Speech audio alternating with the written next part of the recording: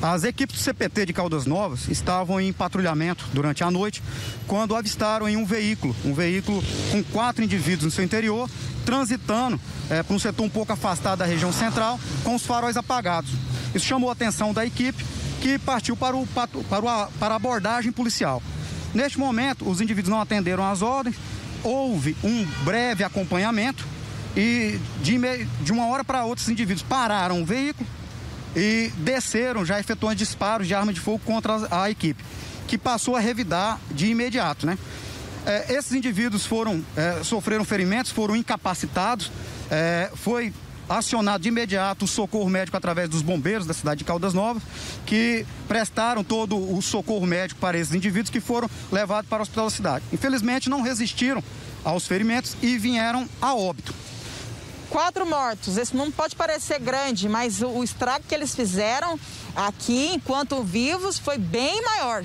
Bem, na sequência da ocorrência, já com, falando com, com, familiares e com outras pessoas que viram o acontecido, as forças de segurança da cidade, as equipes de inteligência da Polícia Militar, conseguiram identificar esses indivíduos.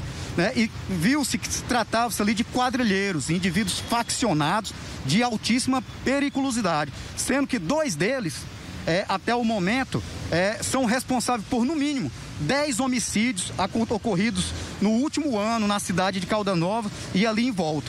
Esses indivíduos conduziam consigo cinco armas de fogo, sendo quatro revólveres em mãos, e durante a, a, busca no interior do veículo foi localizado uma arma de grosso calibre, uma espingarda Gauge 12, de altíssimo poder ofensivo, que eles estavam carregando ali.